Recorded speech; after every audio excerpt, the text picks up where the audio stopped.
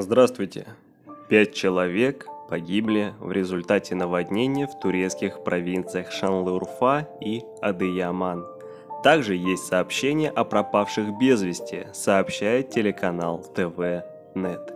Город Шанлы-Урфа в турецкой провинции катастрофически затопило из-за сильного ливня. Жилые районы, офисы, отделения больницы и возделанные поля – все находится в воде. На видео потоки грязной воды заполонили кварталы города, а машины сносят течением. Местные жители спасаются на возвышенностях или передвигаются на лодках. На кадрах очевидцев вода вырывается даже из унитаза и заливает все вокруг. Из затопленной больницы в другие медицинские учреждения эвакуированы 25 человек – а часть пациентов была переведена на верхние этажи. Школьники переведены на дистанционное обучение. По данным телеканала, на данный момент в наводнениях погибли 5 человек.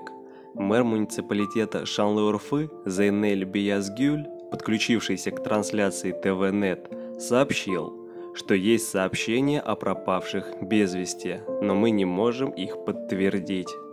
Напомним, Турция еще не оправилась от последствий землетрясений, произошедших 6 февраля. В тот день произошли землетрясения магнитудой 7,7 и 7,6 с интервалом в 9 часов в провинции Кахраман-Мараш на юго-востоке Турции.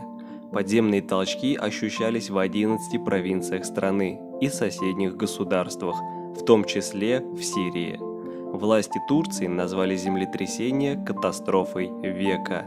Число погибших достигло 48 400 человек. До сих пор не опознаны тела 1615 погибших. Это были все новости на данный момент. А чтобы узнавать больше о Турции, вы можете подписаться на наш канал. Также вы можете поставить лайк и нажать на колокольчик, чтобы помочь нам в развитии канала. А от себя добавлю, берегите себя и своих близких. До новых встреч!